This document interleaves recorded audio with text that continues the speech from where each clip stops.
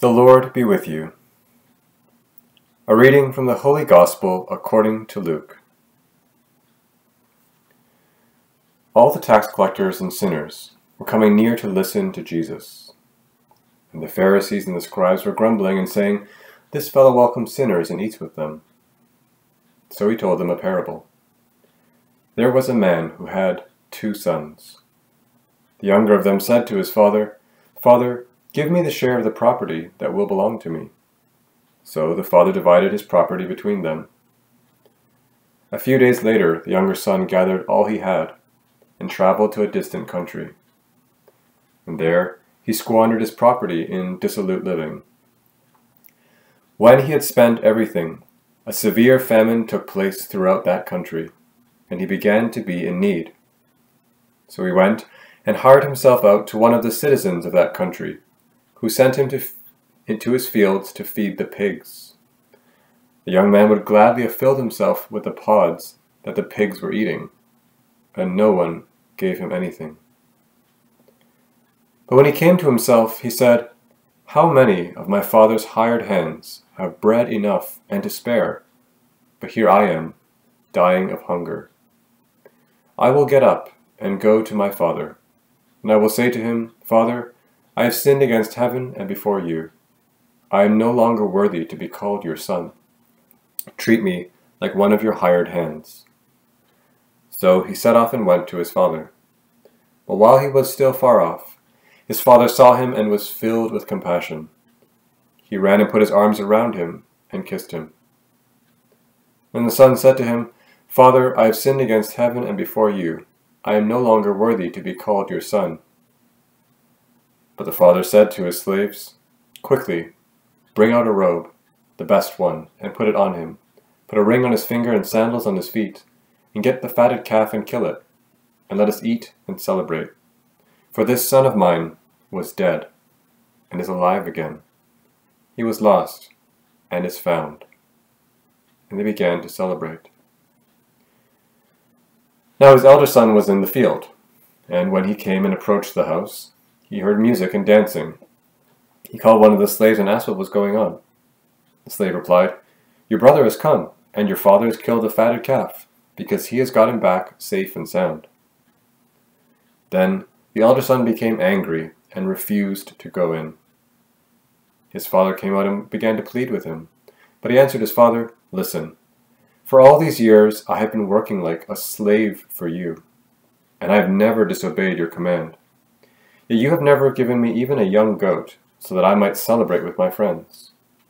But when this son of yours came back, who has devoured your property with prostitutes, you killed the fatted calf for him. And the father said to him, Son, you are always with me, and all that is mine is yours. But we had to celebrate and rejoice, because this brother of yours was dead and has come to life he was lost and has been found. The Gospel of the Lord.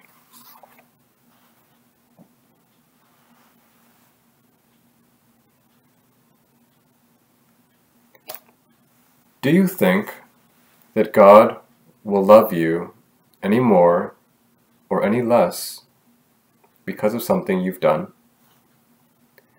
Do you think that God will love you any more or any less because of something you've done. I remember something that happened in the winter semester of my first year of university, during Lent. I'm a pretty all or nothing person, and I decided that first Lent, living on my own for the first time, to go all out. I gave up alcohol, meat, video games. Even my agnostic vegetarian roommate said, What are you going to do with yourself? And I said, You know, I don't even know. And so I began to look for things. What should I do? There was this rosary pamphlet on my desk. You know, one of those light blue Pray the Rosary Daily pamphlets? Of course, I had no intention of doing that. To be honest, the only reason it was on my desk is that I like the picture of Mary's face. But if you've seen this pamphlet I'm talking about, you know, Mary is looking at you kind of like, you know you should. And I thought, Ugh, daily. But deep down, I knew it was possible. After all, my grandmother, who lived with us, prayed the rosary every morning, and we had to be quiet until she was done and joined us for breakfast. And she always joined us partway through breakfast, so I knew it didn't take that long. And so I began. Was it Tuesday or Friday, I can't remember exactly. But I do remember praying the Sorrowful Mysteries. In the pamphlet, there's a suggestion on what to meditate on for each mystery. So the first sorrowful mystery, the agony in the garden, for true contrition for sin. So there I was, kneeling by my bed, looking at the picture, trying to think about true contrition for sin. Our Father who art in heaven, hallowed be thy name, thy kingdom come, thy will be done on earth as in heaven. By the way, please don't pray like that, okay? Anyways, a few Hail Marys in, God answered my prayer. True contrition, truly being sorry, I realized is not just a feeling. It means actually choosing to at least be willing to try to do things differently. If someone were to hit you and then say sorry, but fully intend to hit you again, you wouldn't agree that they were sorry. There were things in my life that I had felt bad about for a long time, but I had never made the decision to even try to make a difference.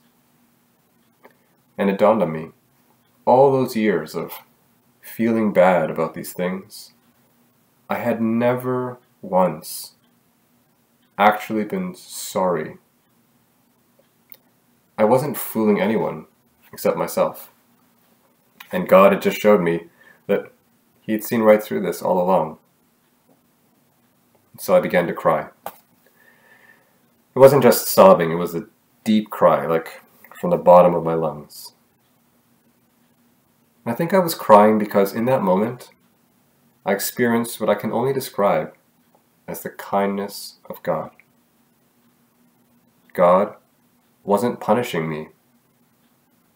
God wasn't rejecting me. God saw right through my pretense and was loving me just the same. I was crying, I guess, because for the first time in a long time, I saw what God's love was really like. You know, maybe I'm not doing a good job of explaining myself with the story. I'm just trying to share with you something of what the kindness of God is like. Because it is literally from another world. Each of our readings in today's Mass speak to us of how God wants to bring this other world to us or bring us into this other world. It's really the same thing. St. Paul says in our second reading If anyone is in Christ, there is a new creation. Everything old has passed away. See, everything has become new. If we are in Christ, which you are if you've been baptized, this other world is already present within us. We are already living in that other world, even if we haven't quite realized it. And for those of us who aren't baptized, God is inviting you to do the same. In our first reading, Joshua and the people of Israel finally enter into the land that God promised he would bring them to. The promised land was more than just a territory on a map. It was another kind of life, another world that God was bringing them into. And in today's gospel, the house of the Father is like this other world. The whole parable, in fact, revolves around the house of the Father. Both sons once lived in the house of the Father. Both sons leave it. Younger son runs off at the beginning. At the end, the elder son is found outside and refuses to go in. And the father, he goes out of the house to try and bring each of them back. Just like how the Promised Land was not merely a geographical territory, the House of the Father was not merely a building with four walls. It's a relationship. It was a way of seeing themselves and their Father. Both sons lost sight of that relationship because of what they had done, although what they did was completely different. The younger son would say, I am no longer worthy to be called your son Treat me as one of your hired hands. And the elder son says, Listen, for all these years I have been working like a slave for you. Somehow, they both ended up operating under the same lie that their father would love them more or less because of the things they had done. In a sense, they were both living in a different world now than their father. And so, what's the father to do? How can he win them over? How can he bring them back home? How can he invite them back from that different world into which they have fallen? Only through his kindness. And this is the wonderful way that God reconciles us to himself, as we prayed in our opening prayer. As we hear in our second reading, in Christ, God is reconciling the world to himself, not counting their trespasses against them. It's only through experiencing God's kindness that God reconciles us to himself. So, where are you experiencing God's kindness in your life?